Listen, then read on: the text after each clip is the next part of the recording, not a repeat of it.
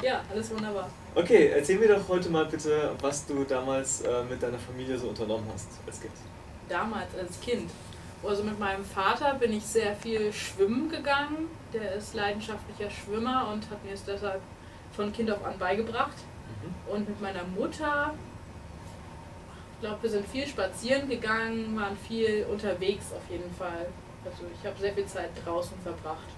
Das ist gut, ja, ich auch. Äh, meine Eltern sind vor allem jetzt im Herbst, äh, wir sind früher immer in den Wald gefahren, auch mit meinem Hund, und haben äh, nach dem Regen Pilze gesammelt, die wir dann zu Hause entweder also, gegessen haben oder irgendwelche Ketten daraus gemacht haben und so weiter.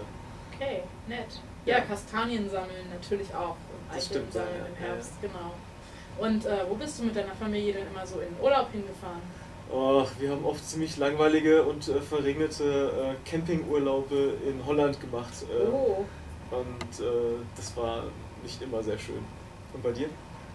ja, als verwöhntes Einzelkind war ich oftmals äh, auf Flugreisen unterwegs. Oh. Also wir waren in Ibiza, ähm, auf Korfu sehr oft, einer griechischen Insel. Mhm. Dann waren wir mal in Frankreich, in Schweden, in Dänemark sehr oft, weil ich ja aus dem Norden Deutschlands komme. Da Mhm. bietet Dänemark sich an.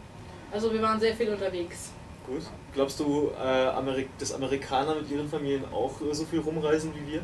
Oder wie, wie die Deutschen? Na, zum einen könnte ich mir vorstellen, dass es selten vorkommt, dass sie für den Urlaub das Land verlassen.